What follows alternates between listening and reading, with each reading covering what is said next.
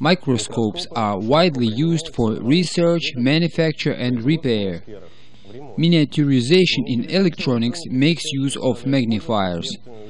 Regular optical microscopes and magnifying glasses aren't suitable for working with electronics.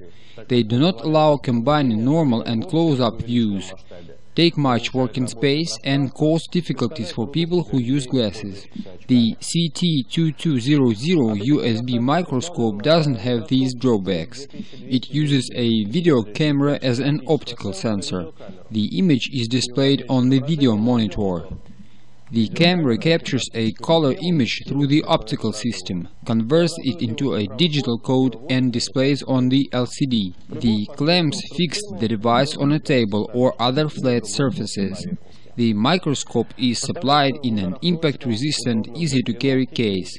It takes less than 5 minutes to assemble the device.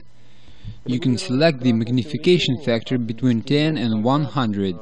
You can also adjust the focus of the microscope, the brightness and the contrast of the display.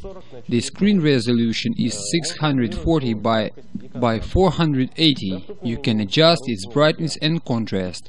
There is a menu in Russian.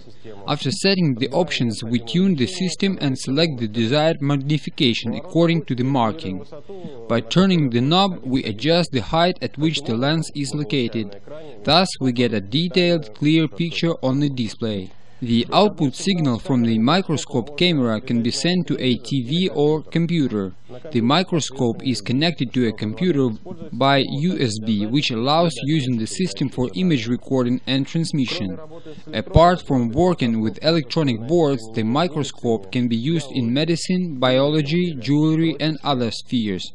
The device is easy to set up and use, and the high quality of the result will, will assist you in your daily work and give you additional possibilities.